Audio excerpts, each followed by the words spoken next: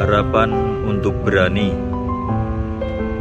Layaknya kuntum mawar merah ini dari warnanya mengajak kita untuk punya keberanian.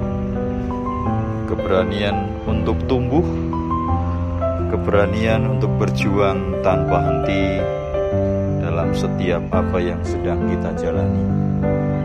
Tentu keberanian bukan hanya asal berani juga berani mengandalkan Tuhan di dalam hidup kita mari terus menampakkan, memekarkan keberanian. Keberanian akan tumbuh ketika kita pupuk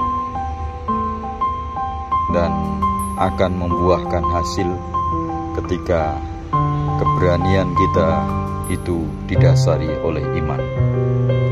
Mari kita memiliki keberanian dan memampukan kita untuk terus berjuang tanpa henti bertani.